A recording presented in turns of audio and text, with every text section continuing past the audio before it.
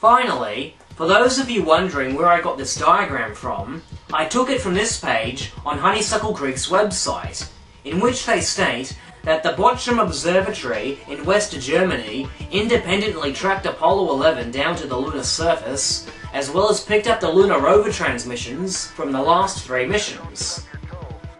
We contacted Bochum Observatory requesting a complete list of the time and dates for their acquisition and losses of Apollo's signal. We also asked whether or not they also tracked the Apollo during the voyage to and from the moon, or did they only track Apollo when it was on the lunar surface itself? Our email was answered by Thilo Elsner, who told us, both. So you understand what time it will take to pick up all times from the logbooks. Not before the end of 2009 I would have the time to do this, because I now work on another project with NASA. Working on another project with NASA? Another project in addition to Apollo, perhaps? To explore this, we asked Elsner, was Bochum Observatory working directly or indirectly with NASA in tracking the Apollo missions? Kind of like how the facilities in Australia were part of NASA's Deep Space Network.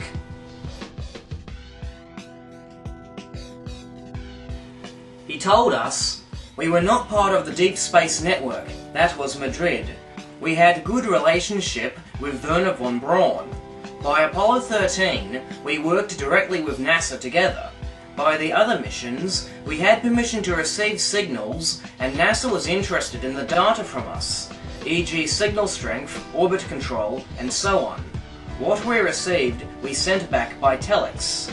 What NASA was interested in was the noise figure of a 20 meter antenna to receive images directly from the moon, what we had done together with Rohde and Schwarz, producer of the receiving systems. That's all. That's about it. So it seems, Bochum Observatory had strong connections with Dr. Wernher von Braun, who essentially pioneered the Apollo program and NASA, and later, the observatory and NASA were directly working together. So much for being independent verification.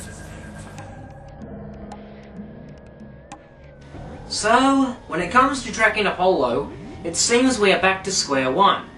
None of the radio hams can attest to having tracked these vehicles all the way to the moon and back, and the only parties who can attest to having done so are one way or another connected with NASA.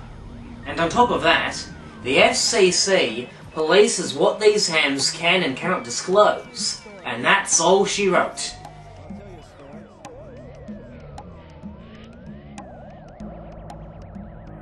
Something is very seriously wrong here.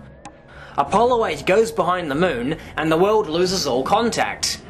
Yet the Earth rotates Moscow out of the moon's sight, and Mother Russia is somehow able to pick up signals that clearly can't reach them.